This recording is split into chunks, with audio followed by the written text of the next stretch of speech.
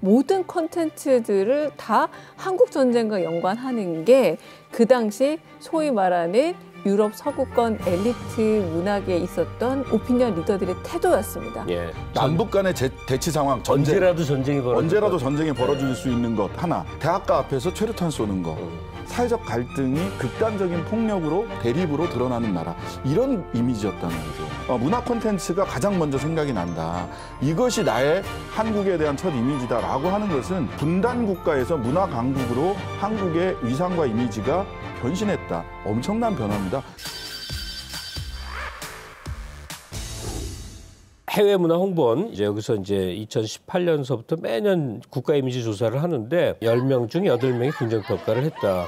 그리고 왜 한국에 대해서 이렇게 에, 우호적인 이미지를 갖습니까? 라는 거에 대한 답은 K-팝, K-드라마 같은 것, 다시 말해서 대중문화 22.9%로 가장 높았습니다. 이어서는 한국인이 만드는 제품들, 브랜드, 그다음에 한국인들의 경제 수준 이런 것들이 이제 좋은 감정을 준대요. 한국이 대외적으로 굉장히 좋은 이미지를 얻고 있다라는 게 이제 통계상으로 입증이 된 겁니다. 사실 한국에 대한 이미지가 완전히 바뀐 건데요. 저희 여동생이 10대 후반기에 이제 유학을 갔는데 그때 가끔 전화가 옵니다. 한국에서 지금 남북 간에 이런 문제가 있는데 괜찮냐는 질문을 받는다. 음. 부모님들 괜찮냐? 가족들 괜찮냐? 그러니까 한반도 그러면 항상 남북 간의 제- 대치 상황 전쟁 언제라도 전쟁이 벌어질 언제라도 것. 전쟁이 벌어질 네. 수 있는 것 하나. 그 다음에 하나는 대학가 앞에서 최루탄 쏘는 거. 음. 공장 앞에서 최루탄 쏘는 거 이런 게 70년대, 80년대, 90년대까지만 맞아요. 해도 네. 그런 게 한국을 규정하는 이미지였습니다. 가서 살고 싶고 그 물건 사고 싶고 이런 매력이 없었다는 거죠. 근데 지금은 어, 문화 콘텐츠가 가장 먼저 생각이 난다.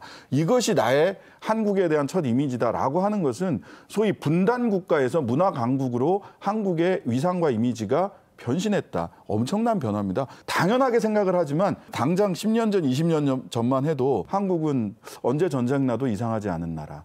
언제나 사회적 갈등이 극단적인 폭력으로 대립으로 드러나는 나라. 이런 이미지였다는 거죠. 그리고 이미지가 항상 북한하고 겹쳐져 갖고 예. 한국 하면 이 코리아는 노스 사우스가 같은 코리아 쓰잖아요. 그러니까 또 김정일 얼굴이 먼저 떠올랐다는 거 아니에요. 근데 이제는 한국 드라마나 BTS가 먼저 떠오르는 세상이 그때, 되니 그때 외국에 나가면 네. 일단 일본인이냐 내지는 중국인이냐 먼저 묻고요. 네. Korean이다라고 하면 South냐 North냐를 네, 네. 묻- 물었죠. 예. 지금은 한국인이냐 이렇게 물어봅니다. 나가면.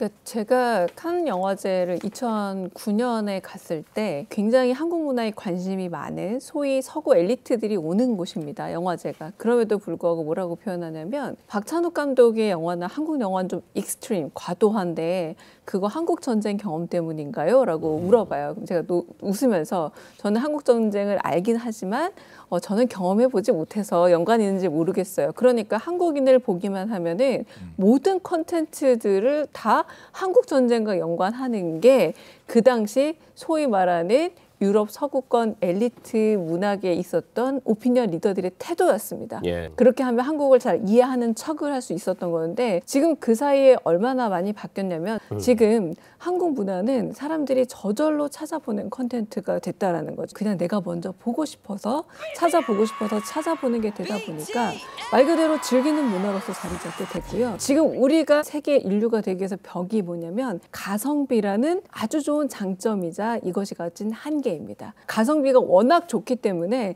많은 제작이 들어오고 가령 올해만 하더라도 현재 개봉이 알려진 게 10개 시리즈. 하지만 예. 어. 더 많은 시리즈가 아직 개수를 세아릴 수 없을 만큼 많이 대기 중이라는 거죠. 왜 그렇게 많이 만드느냐?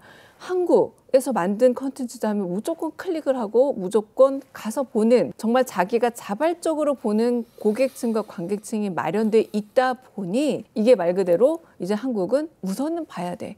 여기에 대해서 평가를 어떻게 하든 간 일단 보고는 넘어가야 되는 것이라는 합의는 이루어졌습니다. 한국이라는 브랜드 자체에 티켓 파워가 생긴 거죠. 맞아요. 말하자면 네, 네, 네. 믿고 보는 맞습니다. 일단 네. 봐- 봐야 하는.